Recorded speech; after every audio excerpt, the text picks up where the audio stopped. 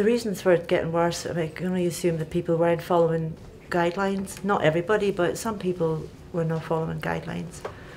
Um, we we have seen a, a huge spike in our cases since Christmas.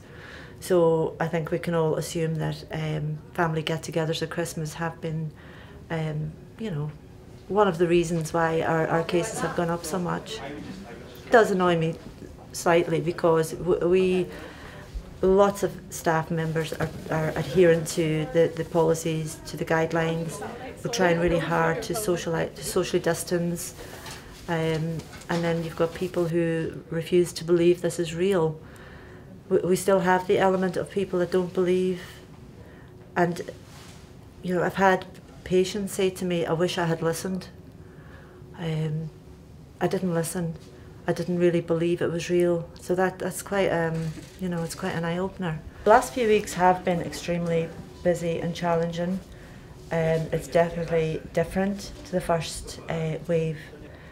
Um, we've seen a lot more admissions with COVID related symptoms. We've seen lots of um, groups of family members admitted with COVID. Um, a lot of young people which we didn't see so much in the first wave. We've, had some extremely sick people. Um, you know, we've had lots of patients discussed with ITU, some transferred to ITU.